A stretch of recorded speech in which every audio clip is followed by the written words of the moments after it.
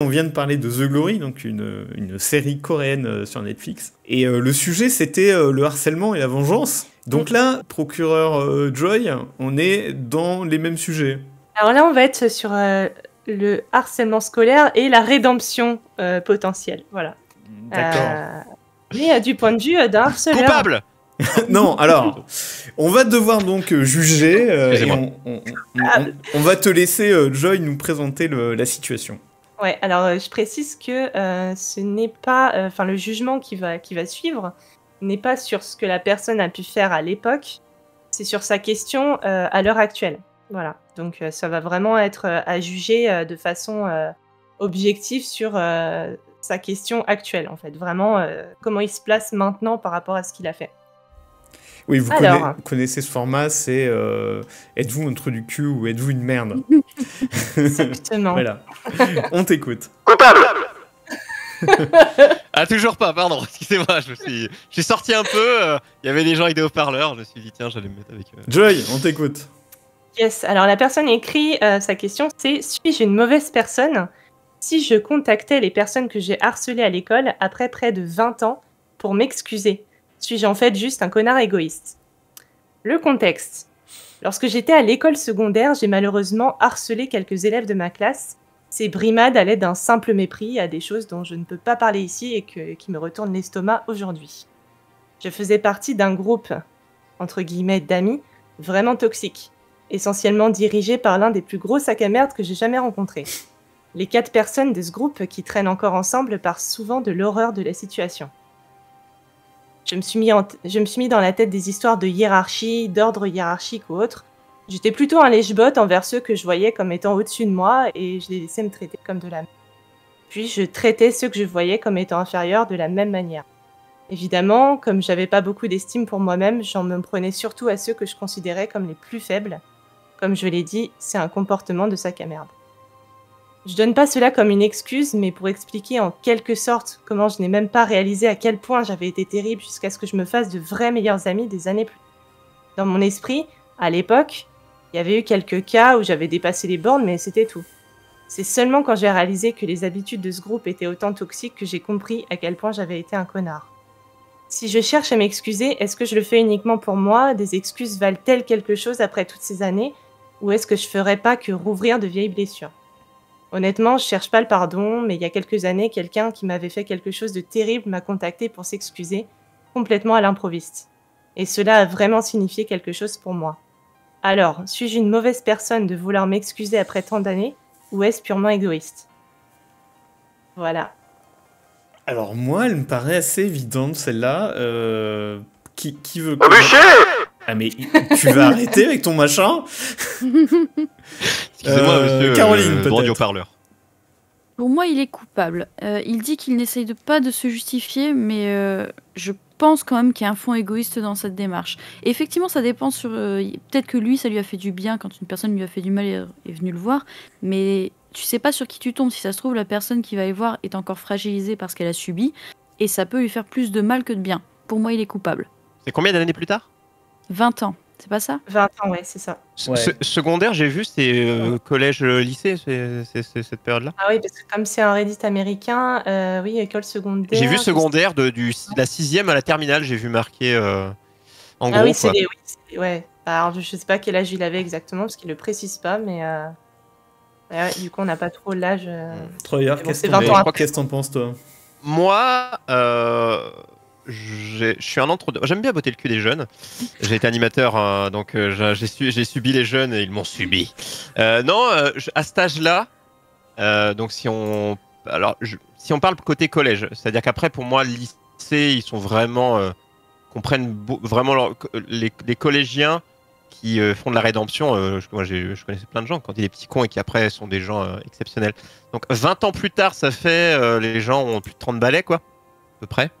Euh, pour la rédemption, moi je dirais euh, innocent. Alors oui, il y a un côté derrière, c'est-à-dire il y a un, il y a, il y a un côté euh, où euh, je m'excuse pour avoir l'esprit tranquille, clairement pour moi, mais Ouais, pas voilà. forcément sur, le- Toi, sur le tu- côté négatif non tu, plus. tu penses que c'est plus par rapport à lui-même que par rapport à ses victimes en fait? C'est un un, c'est un entre deux. Je pense que peut-être qu'avec le recul, ça te bouffe toi-même. Donc tu, tu veux te faire du bien à toi. Euh, c'est euh, clairement la, le, le point numéro un dans ta tête. Hein. Tu te dis pas d'un coup, je suis l'abbé Pierre et je suis, euh, je, je promeux la bonne parole. C'est clairement pour te faire du bien à toi. C'est comme des fois, tu pas dire la vérité et tu vas la dire pour te faire un grand. Ouh, je me sens libre. On dit toujours ça. Mais ça n'empêche pas de- d'être devenu plus tard une bonne personne.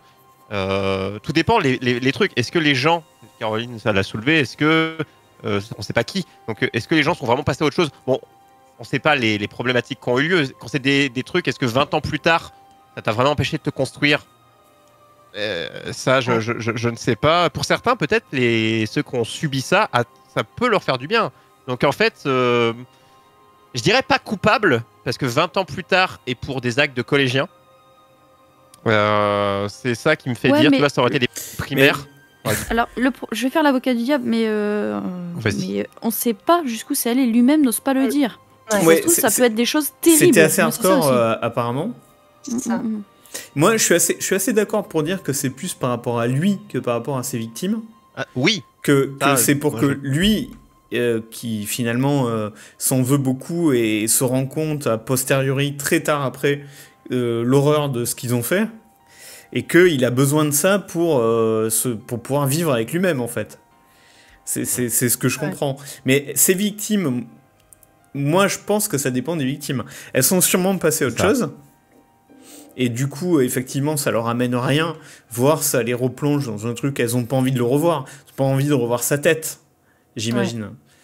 Après, tu ressembles plus à ce que t'étais, donc. mais, euh, très honnêtement, pour me placer euh, avec une expérience, on va dire, personnelle, euh, je dirais que, alors déjà, dans son discours, euh, je pense qu'il y a quand même, euh, il prend son cas pour une généralité parce que lui, ça lui a fait du bien. Il estime que ça fera peut-être du bien, donc ça, peut ça part peut-être pas d'une mauvaise intention. Euh, après, en tant que victime, il faut savoir quand même que même si ça paraît pas grand-chose, euh, même du harcèlement qui va pas jusqu'à de la violence ou autre, même si c'est juste verbal, euh, c'est un impact quoi. très fort en fait quand t'es te jeune marque, parce que ouais. c'est au moment où tu te construis en tant qu'adulte en fait et, et, et c'est là-dessus aussi que, que c'est- le regard des autres, c'est comment les autres se comportent vis-à-vis de toi, c'est comment tu te places dans la Oui, mais société. on va Joy, dire, 20 ans, plus, hiérarchiquement. 20 ans plus tard. Ah, Mais attends, parce que j'ai pas fini.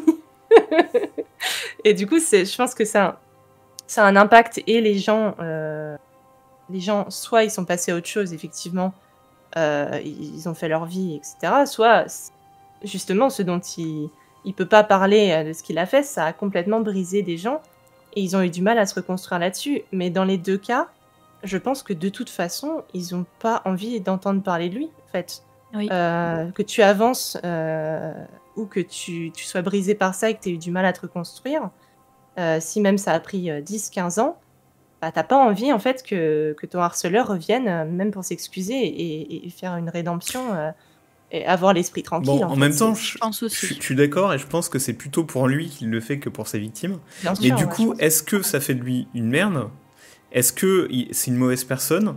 Je, je pense qu'il se rend compte a posteriori qu'il était une très mauvaise personne pendant longtemps. Mais est-ce que aujourd'hui, le fait de s'en rendre compte, ça montre pas qu'il est plus une mauvaise personne? Et du coup, euh, Ah, je pense que c'est très débat, égoïste pas- sa démarche, mais C'est pas, c'est pas spécialement ça, parce que oui, tu peux être un con euh, quand t'es jeune et devenir euh, la personne la plus incroyable sur Terre après, hein, ou l'inverse. Mais euh, ça, ça dépend à quel point précis tu vois, tu veux juger sur ce côté. Est-ce que ces intentions, on- on- euh, est-ce qu'elles sont vraiment aimantes ou est-ce qu'elles sont dédiées à lui? Ce qu'on- Elles sont dédiées à lui. ce qu'on juge, c'est si c'est une mauvaise personne avec cette action-là. Pas celle Oh. qu'il a fait à l'époque. hein. Alors je dirais non. Moi, très Euh, franchement, que mes harceleuses reviendraient aujourd'hui s'excuser, euh, ça me ferait ni chaud ni froid parce que j'ai avancé, mais d'un côté, en fait, je. ouais, euh, Tu penses que c'est potentiellement euh, euh, une mauvaise action? C'est aussi, Clairement, en Mm. fait, euh, je vois pas ce que ça apporte. euh, je pense, je pense Moi, que moi, je, je- quand même, je, trouve que euh, c'est pas Ouais. fondamentalement une mauvaise action. C'est très égoïste parce que c'est pour lui, c'est pas vraiment Pas une mauvaise, mais. C'est pas une bonne. C'est pas une bonne non plus, voilà. C'est gris un peu comme situation, soit c'est bizarre. Ouais. Ça, ça, on dit, je dirais bizarre. Bah ouais, ça part pas d'une mauvaise intention parce que justement, je pense qu'il prend aussi euh, ce que ça lui a fait lui euh, euh, comme un peu un exemple. Euh, Peut-être Mm. que moi je, en fait, c'est un peu ça. Euh, Maintenant, euh, l'impact que ça aurait derrière est, est pas forcément positif, voire euh, plutôt négatif. Donc, euh, Mais il en sait Mm. rien en fait. Là, Ouais. là vraiment, c'est du Ouais. hasard. Ouais. Et euh, ce risque, rien que pour ça, pour cette prise de risque qu'il veut prendre, vraiment, Ouais, ne clairement, le fais il pas, quoi.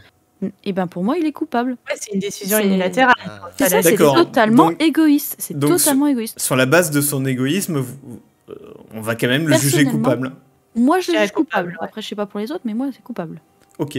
Non, mais je suis d'accord Moi, je avec dis ça. gris, mais euh, du coup, ça fait deux contre un dans tous les cas. donc. Je suis d'accord. Donc, euh, coupable et égoïste. Et surtout, égoïste. voilà pour le tribunal du jour. Euh, prochain tribunal la semaine prochaine.